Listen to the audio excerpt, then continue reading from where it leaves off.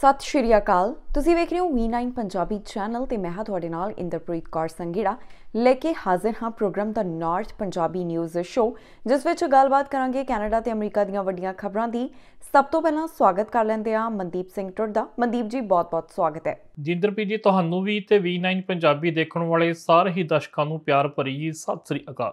ਅੱਜ ਦੇ ਇਸ ਪ੍ਰੋਗਰਾਮ ਦੇ ਵਿੱਚ ਕਈ ਵੱਡੀਆਂ ਖਬਰਾਂ ਦਾ ਜ਼ਿਕਰ ਹੋਏਗਾ, ਜਿੱਥੇ ਗੱਲਬਾਤ ਕੈਨੇਡਾ ਚੋਣਾਂ ਵਿੱਚ ਭਾਰਤ ਦੀ ਜੋ ਦਖਲ ਹੋਈ ਹੈ, ਉਸ ਦੇ ਬਾਰੇ ਹੋਏਗੀ। ਇਸ ਤੋਂ ਇਲਾਵਾ ਗੋਲੀਬਾਰੀ ਦੀ ਘਟਨਾ ਦੇ ਵਿੱਚ ਕੀ ਕੁਝ ਹੋਇਆ ਹੈ, ਕਿਸ ਉੱਪਰ ਕਾਰਵਾਈ ਕੀਤੀ ਗਈ ਹੈ। ਨਾਲ ਹੀ ਜੋ ਨਸ਼ੇ ਕਾਰਨ ਮੌਤਾਂ ਵਿੱਚ ਲਗਾਤਾਰ ਵਾਧਾ ਹੋ ਰਿਹਾ ਹੈ, ਇਸ ਬਾਰੇ ਵੀ ਗੱਲਬਾਤ ਕਰਾਂਗੇ। ਸਾਬਕਾ ਰਾਸ਼ਟਰਪਤੀ ਡੋਨਲਡ ਟਰੰਪ ਨੂੰ ਇੱਕ ਵੱਡੀ ਜਿੱਤ ਹੋਰ ਮਿਲੀ ਹੈ। ਇਸ ਬਾਰੇ ਵੀ ਗੱਲਬਾਤ ਕਰਾਂਗੇ। ਇਸ ਤੋਂ ਇਲਾਵਾ ਹੋਰ ਵੀ ਕਈ ਵੱਡੀਆਂ ਤਮਾਮ ਖਬਰਾਂ ਨੇ, ਜਿਸ ਦਾ ਇਸ ਸ਼ੋਅ ਦੇ ਵਿੱਚ ਜ਼ਿਕਰ ਕਰਾਂਗੇ। ਲਗਾਤਾਰ ਇਸ ਗੱਲ ਨੂੰ ਲੈ ਕੇ ਜ਼ਿਕਰ ਹੋ ਰਿਹਾ ਸੀ ਕਿ ਜਿਹੜੀਆਂ ਕੈਨੇਡਾ ਦੀਆਂ ਚੋਣਾਂ ਨੇ, ਉਸ ਵਿੱਚ ਭਾਰਤ ਦੀ ਦਖਲਅੰਦਾਜ਼ੀ ਹੋਈ ਹੈ। ਫੋਰਨ ਇੰਟਰਫੇਰੈਂਸ ਦਾ ਮੁੱਦਾ ਵਿਰੋਧੀਆਂ ਵੱਲੋਂ ਸਮੇਂ-ਸਮੇਂ ਦੇ ਉੱਪਰ ਚੁੱਕਿਆ ਗਿਆ। ਇੱਕ ਵਾਰ ਫਿਰ ਤੋਂ ਇਸ ਬਾਰੇ ਅਪਡੇਟ ਸਾਹਮਣੇ ਆਈ ਹੈ, ਜਿੱਥੇ ਦੱਸਿਆ ਗਿਆ ਕਿ ਕੈਨੇਡਾ ਦੀਆਂ ਇਹਨਾਂ ਚੋਣਾਂ ਦੇ ਵਿੱਚ ਭਾਰਤ ਦੀ ਦਖਲ ਨੂੰ ਲੈ ਕੇ ਹੁਣ ਜੋ ਹੈ, ਉਹ ਜਾਂਚ ਕੀਤੀ ਜਾਵੇਗੀ। ਮਨਦੀਪ ਜੀ, ਇਸ ਬਾਰੇ ਕੀ ਅਪਡੇਟ ਸਾਹਮਣੇ ਆ ਰਹੀ ਹੈ? ਜੀ, ਬਿਲਕੁਲ ਇੱਕ ਵੱਡੀ ਖਬਰ ਜਿਹੜੀ ਸਾਹਮਣੇ ਆ ਰਹੀ ਹੈ, ਕੈਨੇਡਾ ਦੇ ਵਿੱਚ ਪਿਛਲੇ ਕਈ ਸਾਲਾਂ ਤੋਂ ਇਹ ਚਰਚਾ ਚੱਲ ਰਹੀ ਹੈ ਕਿ ਕੈਨੇਡਾ ਦੀਆਂ ਚੋਣਾਂ ਦੇ ਵਿੱਚ ਦਖਲ ਅੰਦਾਜ਼ੀ ਜਿਹੜੀ ਹੋ ਰਹੀ ਆ ਤੇ ਵਿਦੇਸ਼ੀ ਤਾਕਤਾਂ ਇਹ ਦਖਲ ਅੰਦਾਜ਼ੀ ਕਰ ਰਹੀਆਂ ਨੇ। ਇਹ ਚਰਚਾ ਪਹਿਲਾਂ ਅਮਰੀਕਾ 'ਚ ਵੀ ਚੱਲੀ ਸੀ ਪਿਛਲੇ ਦੋ ਤਿੰਨ ਇਲੈਕਸ਼ਨ ਤੋਂ ਰਸ਼ੀਆ ਉੱਤੇ ਜਿਹੜੇ ਉਹ ਦੋਸ਼ ਲੱਗੇ ਸੀਗੇ ਤੇ ਹੁਣ ਕੈਨੇਡਾ 'ਚ ਵੀ ਪਿਛਲੇ ਕਈ ਸਾਲਾਂ ਤੋਂ ਇਹ ਗੱਲਬਾਤ ਜਿਹੜੀ ਉਹ ਚੱਲ ਰਹੀ ਆ।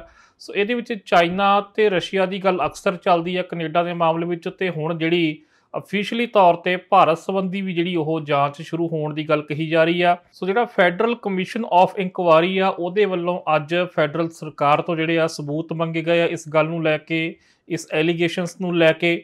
ਕਿ ਜਿਹੜੀਆਂ ਪਿਛਲੀਆਂ ਦੋ ਚੋਣਾਂ ਹੋਈਆਂ ਕੈਨੇਡਾ ਦੇ ਵਿੱਚ 2019 ਦੀ ਤੇ 2021 ਦੀ, ਸੋ ਇਹਨਾਂ ਦੋਨਾਂ ਹੀ ਇਲੈਕਸ਼ਨਾਂ ਦੇ ਵਿੱਚ ਜਿਹੜੇ ਜਸਟਨ ਟੂਡੋ ਦੀ ਪਾਰਟੀ, ਉਹ ਅੱਗੇ ਰਹੀ ਸੀ।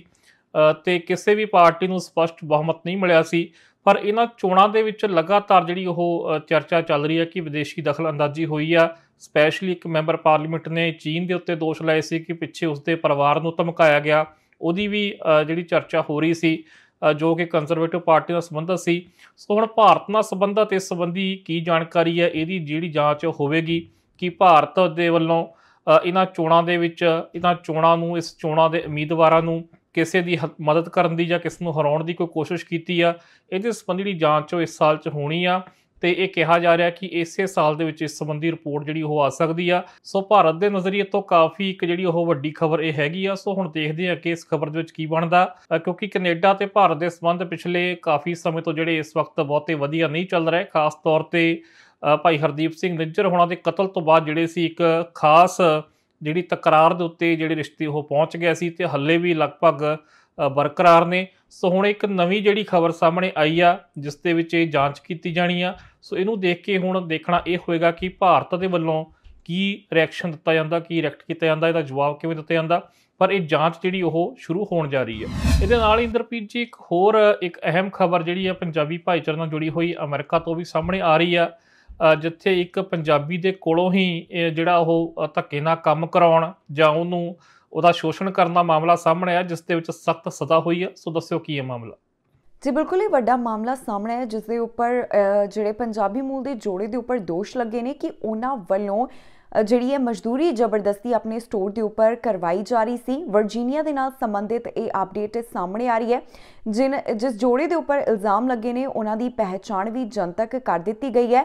ਕਿਸ ਦੇ ਉੱਪਰ ਜਾਨੀ ਕਿ ਕਿਸ ਦੇ ਨਾਲ ਇਹ ਤੱਕਾ ਉਹਨਾਂ ਵੱਲੋਂ ਕੀਤਾ ਗਿਆ ਹੈ, ਇਹ ਵੀ ਅਪਡੇਟ ਹੁਣ ਤੱਕ ਸਾਹਮਣੇ ਆਈ ਹੈ, ਜਿਸ ਦੇ ਵਿੱਚ ਕਈ ਗੱਲਾਂ ਨਿਕਲ ਕੇ ਸਾਹਮਣੇ ਆਈਆਂ ਨੇ।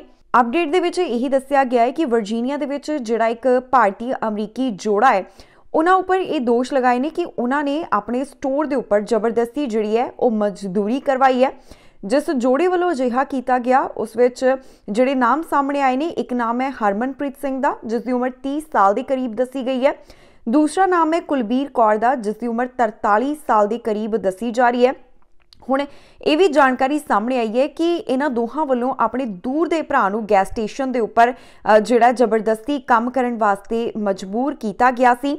ਇਹ ਵੀ ਪਤਾ ਚੱਲਿਆ ਹੈ ਕਿ ਜੋੜੇ ਨੇ ਉਸ ਤੋਂ ਜਿਹੜਾ ਹੈ, ਉਹ ਕੈਸ਼ੀਅਰ ਦਾ ਕੰਮ ਕਰਵਾਇਆ, ਉਹ ਵੀ ਜ਼ਬਰਦਸਤੀ, ਬਲਕਿ ਉਸ ਤੋਂ ਖਾਣਾ ਵੀ ਬਣਵਾਇਆ, ਸਫਾਈਆਂ ਵੀ ਕਰਵਾਈਆਂ, ਹੋਰ ਵੀ ਸਾਰੀਆਂ ਚੀਜ਼ਾਂ ਜਿਹੜੀਆਂ ਸੀ, ਉਹ ਜ਼ਬਰਦਸਤੀ ਇਸ ਜੋੜੇ ਵੱਲੋਂ ਕਰਵਾਈਆਂ ਜਾ ਰਹੀਆਂ ਸੀ। ਦੋਸ਼ੀ ਪਾਏ ਜਾਣ ਤੋਂ ਬਾਅਦ ਜੋੜੇ ਨੂੰ ਜਿਹੜੀ ਹੈ, ਉਹ 20 ਸਾਲ ਦੀ ਸਜ਼ਾ ਤੇ 250000 ਡਾਲਰ ਦਾ ਜੁਰਮਾਨਾ ਵੀ ਲਗਾਇਆ ਜਾ ਸਕਦਾ ਹੈ। ਇਸ ਨੂੰ ਲੈ ਕੇ ਵੀ ਚਰਚਾ ਹੋ ਰਹੀ ਹੈ। ਇਸ ਤੋਂ ਇਲਾਵਾ ਰਿਹਾਈ ਦੇ 5 ਸਾਲ ਬਾਅਦ ਉਹਨਾਂ ਨੂੰ ਉਹਨਾਂ ਉੱਪਰ ਨਜ਼ਰ ਰੱਖਣ ਦੀ ਵੀ ਜਿਹੜੀ ਹੈ ਉਹ ਗੱਲ ਕੀਤੀ ਜਾ ਰਹੀ ਹੈ। ਤੇ ਹੁਣ ਇਹ ਜਿਹੜਾ ਮਾਮਲਾ ਸਾਹਮਣੇ ਆਇਆ ਇਸ ਨੇ ਕਾਫੀ ਜ਼ਿਆਦਾ ਚਰਚਾ ਛੇੜੀ ਹੋਈ ਹੈ। ਲਗਾਤਾਰ ਇਸ ਜੋੜੇ ਦਾ ਜ਼ਿਕਰ ਹੋ ਰਿਹਾ ਜਿਨ੍ਹਾਂ ਦੇ ਉੱਪਰ ਇਹ ਦੋਸ਼ ਲੱਗਾ ਹੈ ਕਿ ਉਹਨਾਂ ਨੇ ਦੂਰ ਦੇ ਭਰਾ ਤੋਂ ਜ਼ਬਰਦਸਤੀ ਸਟੋਰ ਦੇ ਉੱਪਰ ਕਈ ਤਰ੍ਹਾਂ ਦੇ ਕੰਮ ਕਰਵਾਏ ਨੇ।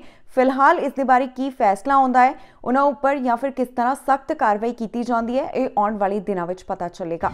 ਬ੍ਰਿਟਿਸ਼ ਕੋਲੰਬੀਆ ਦੇ ਵਿੱਚ ਨਸ਼ੇ ਕਾਰਨ ਜਾਂ ਕਹ ਲਈਏ ਕਿ ਇਲਿਸਿਟ ਡਰਗ ਕਾਰਨ ਜੋ ਮੌਤਾਂ ਦਾ ਅੰਕੜਾ ਹੈ, ਉਹ ਹਰ ਸਾਲ ਜਾਂ ਫਿਰ ਹਰ ਮਹੀਨੇ ਵਾਧਾ ਹੋਇਆ ਦਿਖਾਈ ਦਿੰਦਾ ਹੈ। ਕਈ ਵਾਰ ਇਸ ਦੇ ਰਿਕਾਰਡ ਟੁੱਟ ਚੁੱਕੇ ਨੇ। ਅਧਿਕਾਰੀਆਂ ਵੱਲੋਂ ਵੀ ਇਸ ਨੂੰ ਲੈ ਕੇ ਚਿੰਤਾ ਦਾ ਪ੍ਰਗਟਾਵਾ ਕੀਤਾ ਜਾਂਦਾ ਹੈ। ਮੌਜੂਦਾ ਸਮੇਂ ਇੱਕ ਹੋਰ ਰਿਪੋਰਟ ਸਾਹਮਣੇ ਆਈ ਹੈ, ਜਿਸ ਵਿੱਚ ਦੱਸਿਆ ਗਿਆ ਕਿ ਹੁਣ ਇੱਥੇ ਇਲਿਸਿਟ ਡਰਗ ਕਾਰਨ ਕਿੰਨੀਆਂ ਜਾਨਾਂ ਗਈਆਂ ਨੇ। ਇਸ ਬਾਰੇ ਕੀ ਕੁਝ ਦੱਸਿਆ ਜਾ ਰਿਹਾ ਹੈ? ਬਿਲਕੁਲ ਜੀ, ਨਸ਼ੇ ਨਾਲ ਹੋਣ ਵਾਲੀਆਂ ਮੌਤਾਂ ਦੀ ਗਿਣਤੀ ਜਿਹੜੀ ਉਹ ਲਗਾਤਾਰ ਵੱਧ ਰਹੀ ਆ ਤੇ BC ਦੇ ਵਿੱਚ ਪਿਛਲੇ ਕਈ ਸਾਲਾਂ ਤੋਂ ਇਹ ਜਿਹੜੀ ਸੰਕਟ ਬਣਿਆ ਹੋਇਆ, ਜਿਹੜੀਆਂ ਓਵਰਡੋਸ ਨਾਲ ਮੌਤਾਂ ਹੋ ਰਹੀਆਂ, ਜਿਹਨੂੰ ਤੁਸੀਂ ਇਲਿਸਿਟ ਡਰੱਗ ਵੀ ਕਹਿ ਰਹੇ ਹੋ। ਸੋ ਇਸ ਮਾਮਲੇ ਵਿੱਚ ਅੱਜ ਇੱਕ ਰਿਪੋਰਟ ਜਿਹੜੀ ਸਾਹਮਣੇ ਆਈ ਆ BC ਕਾਨਰਸ ਦੇ ਵੱਲੋਂ ਇਹ ਰਿਪੋਰਟ ਦਿੱਤੀ ਗਈ ਹੈ ਜਿਹਦੇ ਵਿੱਚ ਦੱਸਿਆ ਗਿਆ ਕਿ 2023 ਦੇ ਵਿੱਚ ਤਕਰੀਬਨ 2511 ਲੋਕਾਂ ਦੀ ਜਿਹੜੀ ਮੌਤ ਹੈ ਉਹ ਹੋਈ ਆ, ਸਿਰਫ ਤੇ ਸਿਰਫ ਓਵਰਡੋਸ ਦੇ ਨਾਲ, ਇਹਨਾਂ ਨਸ਼ਿਆਂ ਦੇ ਨਾਲ। ਜੇ ਅਸੀਂ ਇਹਦੀ ਔਸਤ ਕੱਢੀਏ ਤਾਂ ਰੋਜ਼ਾਨਾ 7 ਲੋਕਾਂ ਦੀ ਮੌਤ ਜਿਹੜੀ ਉਹ ਇਕੱਲੇ BC ਵਿੱਚ ਜਿਹੜੀ ਹੋਈ ਆ। ਤੇ ਜੇਕਰ ਅਸੀਂ ਗੱਲ ਕਰੀਏ ਸਭ ਤੋਂ ਵੱਧ ਮੌਤਾਂ ਜਿਹੜੀਆਂ ਇਸ ਤਰੀਕੇ ਨਾਲ BC ਤੇ ਅੰਟਾਰੀਓ ਵਿੱਚ ਹੀ ਜਿਹੜੀਆਂ ਹੁੰਦੀਆਂ ਨੇ, ਸੋ BC ਦੀ ਰਿਪੋਰਟ ਜਿਹੜੀ ਉਹ ਕਾਫੀ ਚਿੰਤਾਜਨਕ ਆ। ਇਹ ਜਦੋਂ ਵਾਧਾ ਸ਼ੁਰੂ ਹੋਇਆ ਸੀ, ਉਸ ਤੋਂ ਬਾਅਦ BC ਦੇ ਵਿੱਚ ਸਰਕਾਰ ਵੱਲੋਂ ਹੈਲਥ ਐਮਰਜੈਂਸੀ ਐਲਾਨ ਦਿੱਤੀ ਗਈ ਸੀ, ਜਿਹੜੀ 2016 ਚ ਐਲਾਨੀ ਗਈ ਸੀ। ਤੇ ਉਦੋਂ ਤੋਂ ਲੈ ਕੇ ਹੁਣ ਤੱਕ ਗੱਲ ਕਰੀਏ ਤਾਂ 14000 ਲੋਕਾਂ ਦੀ ਮੌਤ ਜਿਹੜੀ ਆ ਉਹ ਇਸ ਤਰੀਕੇ ਨਾਲ ਹੋ ਚੁੱਕੀ ਆ ਜਿਹੜੇ ਇਹ ਅਨਰੈਗੂਲੇਟਡ ਡਰੱਗਸ ਨੇ, ਜਾਂ ਇਹਨੂੰ ਇਲਿਸਿਟ ਡਰੱਗ ਕਹ ਲਓ, ਜਾਂ ਓਵਰਡੋਸ ਕਹ ਲਓ, ਜਾਂ ਓਵਰਡੋਸ ਜਾਂ ਓਵਰਡੋਸ ਕਹ ਲਓ, ਸੋ ਇਹ ਜਿਹੜੀ ਇੱਕ ਕਾਫੀ ਚਿੰਤਾ ਦੀ ਗੱਲ ਬਣੀ ਹੋਈ ਆ। ਜੇ ਅਸੀਂ ਨਵੰਬਰ ਦੀ ਗੱਲ ਕਰੀਏ ਤਾਂ ਨਵੰਬਰ ਦੇ ਵਿੱਚ 220 ਲੋਕਾਂ ਦੀ ਮੌਤ ਹੋਈ ਆ ਤੇ ਦਸੰਬਰ ਦੇ ਵਿੱਚ ਜਿਹੜਾ ਉਹ 219 ਲੋਕਾਂ ਦੀ ਮੌਤ ਜਿਹੜੀ ਉਹ ਹੋਈ ਆ। ਤੇ ਇਹ ਮੌਤਾਂ ਦਾ ਸਿਲਸਿਲਾ ਜਿਹੜਾ ਉਹ ਲਗਾਤਾਰ ਵੱਧ ਰਿਹਾ ਵਾ। ਹਰ ਮਹੀਨੇ ਇਹ ਮੌਤਾਂ ਜਿਹੜੀਆਂ ਉਹ ਵੱਧ ਰਹੀਆਂ ਨੇ। ਇਹਨੂੰ ਲੈ ਕੇ ਸਰਕਾਰ ਦੇ ਵੱਲੋਂ ਕਈ ਕਦਮ ਵੀ ਚੁੱਕੇ ਗਏ। ਜਿਹੜੇ ਨਸ਼ੇ ਸੀਗੇ, ਉਹਨਾਂ ਨੂੰ ਡੀਕ੍ਰਿਮੀਨਲਾਈਜ਼ ਵੀ ਕੀਤਾ ਗਿਆ ਕਿ ਹੁਣ ਜਿਹੜੇ ਲੋਕ ਨੇ ਉਹ ਸੇਫ ਸਪਲਾਈ ਦਾ ਉਹਨੂੰ ਨਾਂ ਦਿੱਤਾ ਗਿਆ ਕਿ ਇਹਦੇ ਆਧਾਰ ਤੇ ਉਹ ਕੁਝ ਨਸ਼ਾ ਆਪਣੇ ਕੋਲ ਰੱਖ ਸਕਦੇ ਨੇ ਆਪਣੇ ਖਾਣ ਦੇ ਲਈ, ਸੇਵਨ ਦੇ ਲਈ। ਸੋ ਜਿਹਨੂੰ ਲੈ ਕੇ ਵੀ ਜਿਹੜਾ ਲਗਾਤਾਰ ਚਰਚਾ ਚੱਲ ਰਹੀ ਆ, ਕਈ ਥਾਵਾਂ ਤੇ ਲੋਚਨਾ ਵੀ ਹੋ ਰਹੀ ਆ। ਪਰ ਇਹ ਸਰਕਾਰ ਨੇ ਕਿਹਾ ਕਿ ਅਸੀਂ ਇਹ ਜਿਹੜਾ ਜਾਨਾਂ ਬਚਾਉਣ ਲਈ ਉਹ ਕੀਤਾ ਆ। ਸੋ ਜਿਹੜੀ ਅੱਜ ਇਹ ਰਿਪੋਰਟ ਜਾਰੀ ਹੋਈ ਆ, ਮੀਡੀਆ ਨਾਲ ਗੱਲਬਾਤ ਕਰਦੇ ਆ ਅਧਿਕਾਰੀਆਂ ਨੇ ਦੱਸਿਆ ਕਿ BC ਦੇ ਵਿੱਚ ਲਗਭਗ 2.5 ਲੱਖ ਦੇ ਕਰੀਬ ਜਿਹੜੇ ਲੋਕ ਨੇ ਉਹ ਅਨਰੈਗੂਲੇਟਡ ਡਰੱਗਸ ਕਰ ਰਹੇ ਨੇ। ਸੋ ਇਹਦਾ ਮਤਲਬ ਇਹ ਆ ਕਿ ਉਹਨਾਂ ਦੀ ਜਾਨ ਵੀ ਖਤਰੇ ਵਿੱਚ ਆ, ਜੋ ਇਹ ਖਤਰਨਾਕ ਜਾਨਲੇਵਾ ਨਸ਼ੇ ਕਰ ਰਹੇ ਨੇ। ਸੋ ਇੱਕ ਬਹੁਤ ਚਿੰਤਾ ਦਾ ਵਿਸ਼ਾ ਬਣਿਆ ਹੋਇਆ ਤੇ ਵੱਡੀ ਗਿਣਤੀ ਵਿੱਚ ਇਹ ਜਾਨਾਂ ਜਾ ਰਹੀਆਂ ਨੇ। ਸੋ ਜਦੋਂ ਕੋਵਿਡ ਵੀ ਚੱਲ ਰਿਹਾ ਸੀਗਾ ਤੇ ਕੋਵਿਡ ਦੇ ਦੌਰਾਨ ਇਹਨਾਂ ਮੌਤਾਂ 'ਚ ਬਹੁਤ ਜ਼ਿਆਦਾ ਵਾਧਾ ਹੋਇਆ ਸੀ ਤੇ ਇਹ ਕੋਵਿਡ ਦੇ ਨਾਲੋਂ ਵੀ ਜਿਹੜੀਆਂ ਜ਼ਿਆਦਾ ਜਾਨਾਂ ਸੀ, ਇਸ ਤਰੀਕੇ ਨਾਲ ਲੋਕਾਂ ਦੀਆਂ ਗਈਆਂ। ਸੋ ਇਹ ਜਿਹੜਾ ਓਵਰਡੋਜ਼ ਨਾਲ ਹੋਣ ਵਾਲੀਆਂ ਮੌਤਾਂ ਨੇ, ਸੋ ਇਹ ਉਹ ਅੰਕੜਾ ਹੈ ਜਿਹੜਾ ਰਿਪੋਰਟ ਹੋ ਗਿਆ। ਕਈ ਵਾਰ ਕੁਝ ਕੁ ਮਾਮਲੇ ਇਹੋ ਜਿਹੇ ਵੀ ਹੁੰਦੇ ਨੇ ਜੋ ਰਿਪੋਰਟ ਵੀ ਨਹੀਂ ਹੁੰਦੇ, ਕਈ ਵਾਰ ਦੱਬ ਲਏ ਜਾਂਦੇ ਨੇ। ਸੋ ਜਿਹੜੇ ਰਿਪੋਰਟ ਹੋਏ ਮਾਮਲੇ ਨੇ ਉਹ ਇਹ ਨੇ ਕਿ 2023 ਦੇ ਵਿੱਚ 2511 ਮੌਤਾਂ ਜਿਹੜੀਆਂ ਉਹ ਹੋਈਆਂ ਨੇ। ਟ੍ਰਾਂਜ਼ਿਟ ਸਟ੍ਰਾਈਕ ਨੂੰ ਲੈ ਕੇ ਲਗਾਤਾਰ ਇਸ ਪ੍ਰੋਗਰਾਮ ਦੇ ਵਿੱਚ ਜ਼ਿਕਰ ਕਰ ਰਹੇ ਹਾਂ। ਯੂਨੀਅਨ ਵੱਲੋਂ ਵੀ ਇਸ ਬਾਰੇ ਬਿਆਨ ਜਾਰੀ ਕੀਤੇ ਜਾ ਰਹੇ ਨੇ।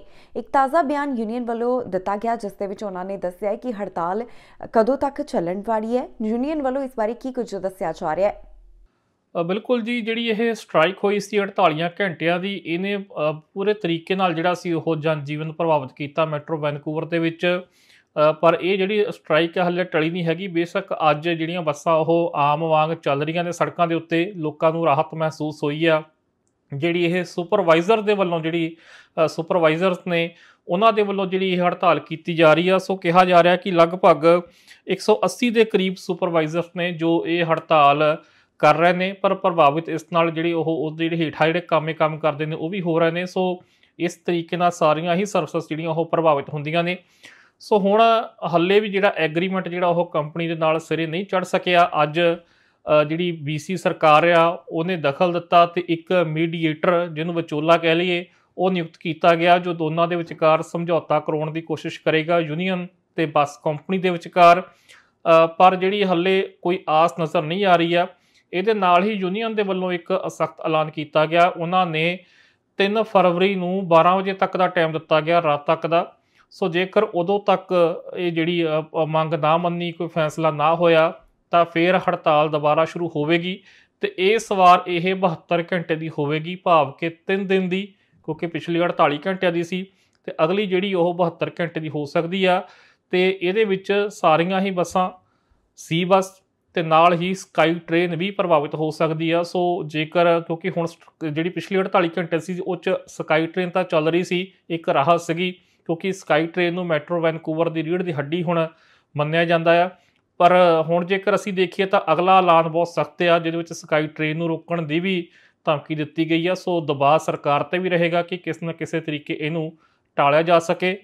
ਤੇ ਇਸ ਕਰਕੇ ਇੱਕ ਵਿੱਚ ਉਹਨਾਂ ਨੇ ਆਪਣਾ ਮੈਡੀਏਟਰ ਵੀ ਨਿਯੁਕਤ ਕੀਤਾ ਆ। ਸੋ ਦੇਖਦੇ ਹਾਂ ਅੱਗੇ ਕੀ ਬਣਦਾ।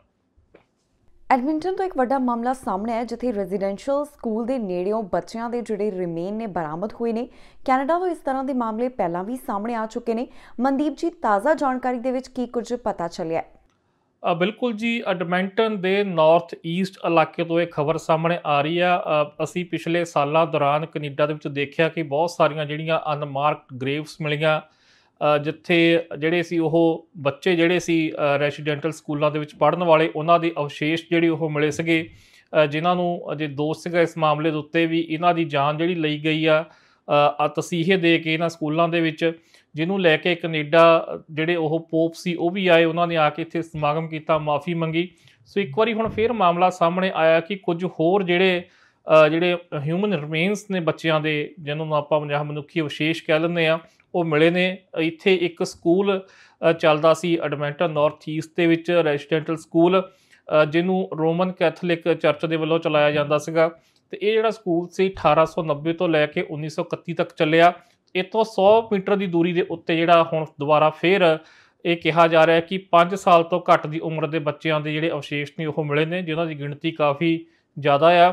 ਤੇ ਇਸ ਰਿਪੋਰਟ 'ਚ ਇੱਥੋਂ ਵੀ ਲਿਖਿਆ ਗਿਆ ਕਿ ਇਹ ਵੀ ਸ਼ੰਕਾ ਜਤਾਈ ਜਾ ਰਹੀ ਹੈ ਕਿ ਜਦੋਂ ਇਹ ਲਾਸ਼ਾਂ ਦਫਨਾਈਆਂ ਗਈਆਂ ਦਫਨਾਈਆਂ ਗਈਆਂ ਹੋਣਗੀਆਂ, ਤਾਂ ਉਸ ਤੋਂ ਬਾਅਦ ਇਹਨਾਂ ਨਾਲ ਜਾਨਵਰਾਂ ਨੇ ਛੇੜਛਾੜ ਵੀ ਕੀਤੀ ਹੋਈ ਆ, ਜਾਂ ਉਹਨੂੰ ਖਾਣ ਦੀ ਕੋਸ਼ਿਸ਼ ਵੀ ਕੀਤੀ ਆ। ਹੱਲੇ ਸਾਫ਼ ਕੁਝ ਵੀ ਨਹੀਂ ਆ, ਸੋ ਅੱਜ ਇੱਕ ਪ੍ਰੈਸ ਕਾਨਫਰੰਸ ਹੋਈ ਸੀ, ਜਿਹਦੇ ਵਿੱਚ ਇਹ ਜਾਣਕਾਰੀ ਦਿੱਤੀ ਗਈ।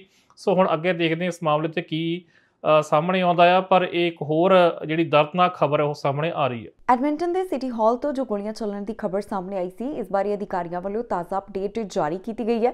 ਗੋਲੀਬਾਰੀ ਦੇ ਇਸ ਮਾਮਲੇ ਦੇ ਵਿੱਚ ਕਿਨਾਂ ਖਿਲਾਫ ਕਾਰਵਾਈ ਕੀਤੀ ਗਈ ਤੇ ਹੁਣ ਤੱਕ ਕੀ ਅਪਡੇਟ ਸਾਹਮਣੇ ਆ ਰਹੀ ਹੈ? ਬਿਲਕੁਲ ਜੀ ਐਡਮਿੰਟਨ ਦੇ ਜਿਹੜਾ ਸਿਟੀ ਹਾਲ ਸੀਗਾ ਉਹਦੇ ਵਿੱਚ ਬੀਤੇ ਦਿਨ ਘਟਨਾ ਹੋਈ ਸੀ। ਆਪਾਂ ਕੱਲ ਦੇ ਪ੍ਰੋਗਰਾਮ ਤੇ ਜਾਣਕਾਰੀ ਦਿੱਤੀ ਸੀ ਇਸ ਸੰਬੰਧੀ ਵੀ ਕਿਵੇਂ ਇੱਕ ਵਿਅਕਤੀ ਨੇ ਉੱਥੇ ਜਿਹੜਾ ਸੀ ਉਹ ਗੋਲੀ ਚਲਾਈ ਤੇ ਅੰਦਰ ਕੁਝ ਹੋਰ ਅਜਿਹੀਆਂ ਹਰਕਤਾਂ ਕੀਤੀਆਂ ਜੋ ਲੋਕਾਂ ਨੂੰ ਨੁਕਸਾਨ ਪਹੁੰਚਾ ਸਕਦੀਆਂ ਸੀਗੀਆਂ। ਕੁਝ ਪੈਟਰੋਲ ਬੰਬ ਵਰਗੀ ਉੱਥੇ ਚੀਜ਼ ਵੀ ਸਿੱਟੀ ਥੋੜੀ ਜੀ ਅੱਗ ਵੀ ਲੱਗੀ ਸਿਟੀ ਹਾਲ ਦੇ ਅੰਦਰ ਉੱਥੇ ਐਲੀਵੇਟਰ ਦੇ ਕੋਲ। ਸੋ ਇਸ ਮਾਮਲੇ 'ਚ ਹੁਣ ਇੱਕ 28 ਸਾਲ ਦੇ ਵਿਅਕਤੀ ਨੂੰ ਜਿਹੜਾ ਉਹ ਚਾਰਜ ਕੀਤਾ ਗਿਆ, ਜਿਹੜਾ ਕਿ ਐਡਮਿੰਟਨ ਨਾਰਥ ਦੇ ਵਿੱਚ ਹੀ ਆਪਣੇ ਪਰਿਵਾਰ ਨਾਲ ਰਹਿੰਦਾ ਸੀ ਤੇ ਇਹ ਇੱਕ ਆਰਗੇਨਾਈਜੇਸ਼ਨ ਦਾ ਸਿਕਿਉਰਿਟੀ ਗਾਰਡ ਜਿਹੜਾ ਕੰਮ ਕਰਦਾ ਸੀਗਾ। ਸੋ ਉਸ ਵਿਅਕਤੀ ਨੂੰ ਚਾਰਜ ਕੀਤਾ ਗਿਆ ਬਹੁਤ ਸਾਰੇ ਮਾਮਲਿਆਂ ਦੇ ਵਿੱਚ, ਜਿਹਦੇ ਵਿੱਚ ਹਥਿਆਰਾਂ ਦਾ ਮਾਮਲਾ ਆ, ਉਹਦੇ ਵਿੱਚ ਇੱਕ ਫੋਟੋ ਵੀ ਸਾਹਮਣੇ ਆਈ ਹੈ ਕਿ ਕਿਵੇਂ ਉਹ ਗਨ ਲੈ ਕੇ ਘੁੰਮ ਰਿਹਾ। ਇੱਕ ਵੀਡੀਓ ਵੀ YouTube ਤੇ ਜਿਹੜੀ ਉਹ ਸ਼ੇਅਰ ਕੀਤੀ ਗਈ ਸੀ ਇਸ ਸੰਬੰਧੀ, ਜੋ ਕਿ ਹੁਣ ਹਟਾ ਦਿੱਤੀ ਗਈ ਆ। ਤੇ ਇਹਦੀਆਂ ਹੋਰ ਵੀ ਕੁਝ ਜਿਹੜੀਆਂ ਵੀਡੀਓਜ਼ ਨੇ ਉਹ ਸਾਹਮਣੇ ਆਈਆਂ ਨੇ, ਜਿਹਦੇ ਵਿੱਚ ਹਥਿਆਰਾਂ ਨਾਲ ਇਹ ਵਿਅਕਤੀ ਦਿਖਾਈ ਦੇ ਰਿਹਾ। ਤੇ ਇਹਦੇ ਨਾਲ ਹੀ ਜਿਹੜੀ ਆਰਗੇਨਾਈਜੇਸ਼ਨ ਆ ਜਿਹਨਾਂ ਨਾਲ ਇਹ ਕੰਮ ਕਰਦਾ ਸੀ ਸਿਕਿਉਰਿਟੀ ਗਾਰਡ ਦਾ, ਉਹਦੇ ਵੱਲੋਂ ਵੀ ਇੱਕ ਬਿਆਨ ਆਇਆ। ਉਹਨਾਂ ਨੇ ਕਿਹਾ ਕਿ ਅਸੀਂ ਜ਼ਰੂਰ ਇਹ ਸਾਡੇ ਨਾਲ ਕੰਮ ਕਰਦਾ 2019 ਦਾ। ਤੇ ਇਹਨੂੰ ਕਈ ਵਾਰ ਐਡਮਿੰਟਨ ਦੇ ਵਿੱਚ ਸਿਕਿਉਰਿਟੀ ਦੀਆਂ ਜਿਹੜੀਆਂ ਅਸਾਈਨਮੈਂਟਸ ਨੇ ਉਹ ਵੀ ਦਿੱਤੀਆਂ, ਪਰ ਉਹਨਾਂ ਨੇ ਕਿਹਾ ਕਿ ਸਿਟੀ ਹਾਲ ਦੇ ਵਿੱਚ ਇਸ ਵਿਅਕਤੀ ਨੂੰ ਕਦੇ ਵੀ ਜਿਹੜਾ ਉਹ ਤਨਾਤ ਨਹੀਂ ਕੀਤਾ ਗਿਆ ਤੇ ਨਾ ਹੀ ਉਸ ਦਿਨ ਉਸ ਦੀ ਉੱਥੇ ਡਿਊਟੀ ਸੀ। ਸੋ ਕਹਿੰਦੇ ਵੀ ਇਹ ਜਾਂਚ ਦਾ ਵਿਸ਼ਾ ਆ ਵੀ ਕੌਣ, ਕਿਸ ਤੋਂ ਮੋਟੀਵੇਟਰ ਹੋ ਕੇ ਜਾਂ ਕਿਸ ਕਰਕੇ ਜਿਹੜਾ ਸੀ ਇਹ ਉੱਥੇ ਗਿਆ, ਸੋ ਇਹ ਇੱਕ ਜਾਂਚ ਦਾ ਵਿਸ਼ਾ ਆ। ਸੋ ਚਾਰ ਜਿਹੜੇ ਉਹ ਲਾਏ ਗਏ ਨੇ, ਵਿਅਕਤੀ ਪੁਲਿਸ ਦੀ ਹਲੇ ਕਸਟਡੀ ਵਿੱਚ ਆ ਤੇ ਕੱਲ ਇੱਕ ਵੱਡੀ ਘਟਨਾ ਹੋਣ ਉੱਥੇ ਜਿਹੜੀ ਸੀ ਉਹ ਬਚ ਗਈ। ਸੋ ਹੁਣ ਦੇਖਦੇ ਹਾਂ ਅੱਗੇ ਇਸ ਹੋਰ ਮਾਮਲੇ 'ਚ ਕੀ ਸਾਹਮਣੇ ਆਉਂਦਾ? ਇੰਦਰਵੀਰ ਜੀ, ਜੇਕਰ ਆਪਾਂ ਅਮਰੀਕਾ ਦੀ ਸਿਆਸਤ ਦੀ ਗੱਲ ਕਰੀਏ ਤਾਂ ਕਾਫੀ ਗਰਮ ਹੁੰਦੀ ਨਜ਼ਰ ਆ ਰਹੀ ਆ। ਟਰੰਪ ਇੱਕ ਇੱਕ ਕਦਮ ਅੱਗੇ ਵਧ ਰਹੇ ਨੇ ਦੁਬਾਰਾ ਰਾਸ਼ਟਰਪਤੀ ਚੋਣ ਲੜਨ ਦੇ ਲਈ। ਹਾਲਾਂਕਿ ਹੱਲੇ ਉਹਨਾਂ ਦੇ ਰਾਜ ਅਦਾਲਤੀ ਇੜਕਾ ਆ ਸਕਦਾ ਆ, ਉਹਦੀ ਸੰਭਾਵਨਾ ਵੀ ਹੈਗੀ ਆ, ਪਰ ਪਾਰਟੀ ਦੇ ਵੱਲੋਂ ਕੋਈ ਇੜਕਾ ਨਹੀਂ ਆ ਰਿਹਾ। ਹੌਲੀ ਹੌਲੀ ਅੱਗੇ ਵੱਧਦੇ ਜਾ ਰਹੇ ਨੇ। ਇੱਕ ਹੋਰ ਜਿੱਤ ਪ੍ਰਾਪਤ ਹੋਈ ਹੈ ਸੋ ਦੱਸਿਓ ਕੀ ਰਿਪੋਰਟ ਹੈ ਜੀ ਬਿਲਕੁਲ, ਅਮਰੀਕੀ ਚੋਣਾਂ ਤੋਂ ਪਹਿਲਾਂ ਇੱਕ ਹੋਰ ਵੱਡੀ ਅਪਡੇਟ ਸਾਹਮਣੇ ਆਈ ਹੈ, ਜਿੱਥੇ ਫੈਸਲਾ ਸਾਬਕਾ ਰਾਸ਼ਟਰਪਤੀ ਡੋਨਲਡ ਟਰੰਪ ਦੇ ਹੱਕ ਵਿੱਚ ਆਇਆ। ਨਿਊ ਹੈਂਪਸ਼ਾਇਰ ਦੇ ਵਿੱਚ ਜਿਹੜੀਆਂ ਕੱਲ ਚੋਣਾਂ ਹੋ ਰਹੀਆਂ ਸਨ ਇਸ ਦਾ ਅਸੀਂ ਜ਼ਿਕਰ ਕੀਤਾ ਸੀ, ਜਿਸ ਦੇ ਨਤੀਜੇ ਹੁਣ ਸਾਹਮਣੇ ਆ ਚੁੱਕੇ ਨੇ। ਵੱਡੀ ਜਿਹੜੀ ਹੈ ਜਿੱਤ ਇੱਕ ਵਾਰ ਫਿਰ ਤੋਂ ਡੋਨਲਡ ਟਰੰਪ ਨੇ ਦਰਜ ਕਰਵਾਈ ਹੈ। ਨਿੱਕੀ ਹੇਲੀ ਜਿਹੜੇ ਨੇ, ਉਹਨਾਂ ਨੂੰ ਘੱਟ ਵੋਟਾਂ ਮਿਲੀਆਂ ਨੇ ਡੋਨਲਡ ਟਰੰਪ ਦੇ ਮੁਕਾਬਲੇ, ਜਿਸ ਤੋਂ ਬਾਅਦ ਨਿੱਕੀ ਹੇਲੀ ਨੇ ਐਲਾਨ ਕਰ ਦਿੱਤਾ ਹੈ ਕਿ ਅਜੇ ਵੀ ਉਹ ਰੇਸ ਦੇ ਵਿੱਚ ਸ਼ਾਮਿਲ ਨੇ। ਨਿਊ ਹੈਂਪਸ਼ਾਇਰ ਦੇ ਨਤੀਜੇ ਕਾਫੀ ਕੁਝ ਦੱਸ ਰਹੇ ਨੇ। ਮਾਹਰਾਂ ਵੱਲੋਂ ਵੀ ਇਸ ਨੂੰ ਲੈ ਕੇ ਆਪਣਾ ਪੱਖ ਜਿਹੜਾ ਹੈ, ਉਹ ਦੱਸਿਆ ਜਾ ਰਿਹਾ ਹੈ ਤੇ ਵੱਡੀ ਜਿੱਤ ਜਿਹੜੀ ਹੈ, ਇਸ ਨੂੰ ਡੋਨਲਡ ਟਰੰਪ ਦੀ ਮੰਨਿਆ ਜਾ ਰਿਹਾ ਹੈ। ਇਹ ਵੀ ਗੱਲ ਕਹੀ ਜਾ ਰਹੀ ਹੈ ਕਿ ਲਗਾਤਾਰ ਉਹਨਾਂ ਦਾ ਜਿਹੜਾ ਰਾਸ਼ਟਰਪਤੀ ਚੋਣਾਂ ਵਿੱਚ ਖੜਨ ਦਾ ਰਾਹ ਹੈ, ਉਹ ਸਾਫ਼ ਹੁੰਦਾ ਹੋਇਆ ਦਿਖਾਈ ਦੇ ਰਿਹਾ ਹੈ। ਨਿਊ ਹੈਂਪਸ਼ਾਇਰ ਦੇ ਨਤੀਜੇ ਵਿੱਚ ਕਾਫੀ ਗੱਲਾਂ ਨਿਕਲ ਕੇ ਸਾਹਮਣੇ ਆਈਆਂ ਨੇ। ਸੋ ਇਹ ਜਿਹੜਾ ਨਤੀਜਾ ਸਾਹਮਣੇ ਆਇਆ, ਇਸ ਨੂੰ ਰਿਪਬਲਿਕਨ ਜਿਹੜੀ ਵਿਰੋਧੀ ਹੈ, ਨਿੱਕੀ ਹੇਲੀ, ਉਸ ਵਾਸਤੇ ਵੱਡਾ ਝਟਕਾ ਮੰਨਿਆ ਜਾ ਰਿਹਾ ਹੈ। ਪਿਛਲੇ ਦਿਨੀ ਨਿੱਕੀ ਹੇਲੀ ਨੂੰ ਲੈ ਕੇ ਜਿਹੜੀ ਬਿਆਨਬਾਜ਼ੀ ਡੋਨਲਡ ਟਰੰਪ ਵੱਲੋਂ ਕੀਤੀ ਗਈ ਸੀ, ਇਸ ਨੂੰ ਲੈ ਕੇ ਵੀ ਕਾਫੀ ਚਰਚਾ ਹੋ ਰਹੀ ਸੀ। ਨਤੀਜੇ ਦੱਸਦੇ ਨੇ ਕਿ ਇੱਥੇ ਜਿਹੜੀਆਂ ਵੋਟਾਂ ਪਈਆਂ ਨੇ, ਉਸ ਵਿੱਚ ਜਿਹੜੀਆਂ 54% ਵੋਟਾਂ ਸਾਬਕਾ ਰਾਸ਼ਟਰਪਤੀ ਦੇ ਹਿੱਸੇ ਆਈਆਂ ਨੇ, ਜਦਕਿ ਨਿੱਕੀ ਹੇਲੀ ਨੂੰ 45% ਵੋਟਾਂ ਇੱਥੇ ਜਿਹੜੀਆਂ ਉਹ ਪੈਂਦੀਆਂ ਹੋਈਆਂ ਦਿਖਾਈ ਦਿੱਤੀਆਂ ਨੇ। ਇਹ ਜਿਹੜਾ ਲੇਖਾ ਜੋਕਾ ਹੈ, ਇਹ ਮਾਹਿਰਾਂ ਵੱਲੋਂ ਵੀ ਲਗਾਤਾਰ ਕੀਤਾ ਜਾ ਰਿਹਾ ਹੈ। ਇਸ ਤੋਂ ਇਲਾਵਾ ਇਹ ਵੀ ਦੱਸ ਦਈਏ ਕਿ ਪਿਛਲੇ ਦਿਨੀ ਡੋਨਲਡ ਟਰੰਪ ਵੱਲੋਂ ਇੱਕ ਬਿਆਨ ਵੀ ਨਿੱਕੀ ਹੇਲੀ ਨੂੰ ਲੈ ਕੇ ਦਿੱਤਾ ਗਿਆ ਸੀ। ਪਹਿਲਾਂ ਤਾਂ ਉਹ ਜਿਹੜੇ ਸੀ, ਉਹ ਨਿੱਕੀ ਹੇਲੀ ਦੀ ਤਾਰੀਫ ਕਰਦੇ ਹੋਏ ਦਿਖਾਈ ਦਿੱਤੇ ਤੇ ਬਾਅਦ ਦੇ ਵਿੱਚ ਉਹਨਾਂ ਦੇ ਜਿਹੜੇ ਕੰਮ ਨੂੰ ਲੈ ਕੇ ਵੀ ਉਹ ਟਿੱਪਣੀ ਜਿਹੜੀ ਸੀ, ਉਹ ਡੋਨਲਡ ਟਰੰਪ ਵੱਲੋਂ ਕੀਤੀ ਗਈ। ਇਸ ਤੋਂ ਇਲਾਵਾ ਜਿਹੜੇ ਹੋਰ ਇੱਥੇ ਮੁੱਖ ਉਮੀਦਵਾਰ ਮੰਨੇ ਜਾ ਰਹੇ ਸਨ ਕਿ ਇਹ ਜਿਹੜੇ ਉਮੀਦਵਾਰ ਬਣ ਸਕਦੇ ਨੇ, ਜਿਸ ਦੇ ਵਿੱਚ ਫਲੋਰੀਡਾ ਦੇ ਗਵਰਨਰ ਦਾ ਵੀ ਨਾਮ ਸਾਹਮਣੇ ਆਇਆ ਸੀ, ਉਹਨਾਂ ਨੇ ਵੀ ਪਿਛਲੇ ਦਿਨੀ ਸਟੈਪ ਬੈਕ ਕਰ ਲਿਆ ਸੀ ਤੇ ਅਜਿਹੇ ਵਿੱਚ ਵੀ ਜਿਹੜਾ ਸੀ ਉਹ ਸਾਬਕਾ ਰਾਸ਼ਟਰਪਤੀ ਦਾ ਚੋਣਾਂ ਵਾਸਤੇ ਰਾਹ ਸਾਫ਼ ਹੁੰਦਾ ਹੋਇਆ ਦਿਖਾਈ ਦੇ ਰਿਹਾ ਸੀ, ਕਿਉਂਕਿ ਫਲੋਰੀਡਾ ਦੇ ਗਵਰਨਰ ਵੱਲੋਂ ਵੀ ਜਿਹੜੀ ਵੱਡੀ ਸਪੋਰਟ ਹੈ, ਉਹ ਡੋਨਲਡ ਟਰੰਪ ਨੂੰ ਦਿਖਾਈ ਸੀ।